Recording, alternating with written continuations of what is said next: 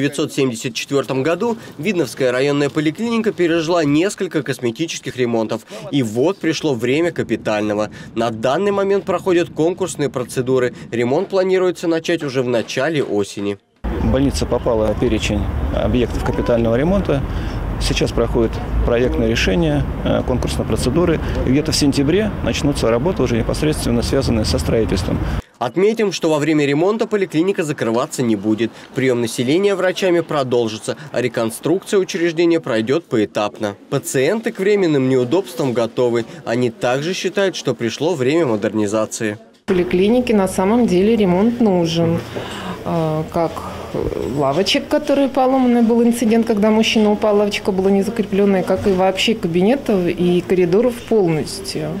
Еще несколько лет назад никто не знал о том, что такое информат, а уже сегодня он установлен почти в каждой поликлинике. Ремонт предполагает еще большую информатизацию, но подобные нововведения не всем по душе. Пожилым людям трудно привыкнуть к электронной записи к врачу, да и пользование интернетом большинству дается непросто. Илья Николаевич с грустью вспоминает советские времена, когда все было понятно.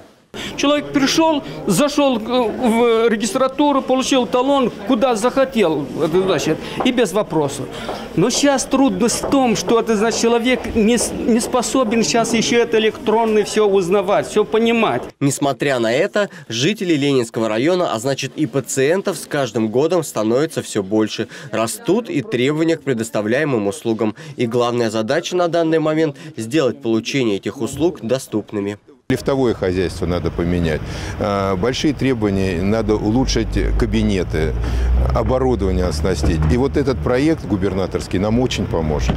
И главное, что уже совсем скоро Видновская поликлиника будет отвечать всем требованиям современного лечебного учреждения. Все ремонтные работы планируется закончить уже в конце этого года. Алексей Мельников, Николай Карбанов, Ольга Садовская. Видное ТВ.